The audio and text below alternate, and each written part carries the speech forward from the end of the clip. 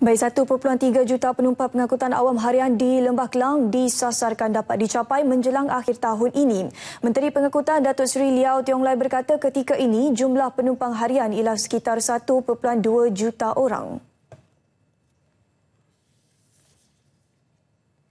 Perkongsian mod pengangkutan awam di kawasan Greater KL pada tahun 2010 hanya pada kadar 10%. Ia meningkat kepada 23% tahun ini. Sementara itu, Datuk Seri Liao juga berkata, seramai 665,875 penumpang persiaran tiba di pelabuhan negara ini setakat Oktober lalu. Ini menunjukkan pertumbuhan ekonomi negara yang kukuh dan keupayaan mengendalikan pelabuhan dengan cekap dan berkesan. Kementerian Pengangkutan juga merancang untuk mengurangkan mengurangkan kadar kemalangan daripada 2.5 kepada 2.29 kematian bagi setiap 10,000 kenderaan tahun ini. Datuk Seri Liao berkata demikian dalam ucapan pada malam gala Kementerian Pengangkutan di Putrajaya.